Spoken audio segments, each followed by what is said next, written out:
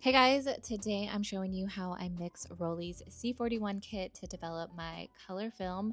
This is one of my favorite kits and I've literally used them all. This one is for sure my fave. I start off with using distilled water and my sous vide to heat it up to 104 degrees. Once that's heated up, we're gonna start mixing up the developer. I start off by taking a measuring cup, fill it up with our heated distilled water to 800 milliliters, then start adding the chemistry. And for this kit, they have three parts to the, to the developer, an A, B, and a C.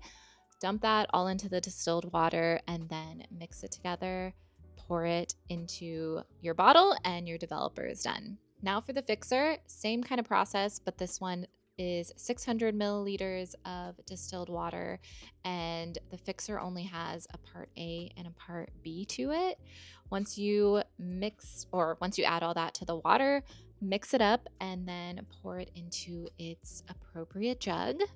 And that's pretty much it. It does come with a stabilizer, but I just use Kodak Photo-Flo. And yeah, now you are ready to develop your colored film. And yeah, I'll see you guys in my next video.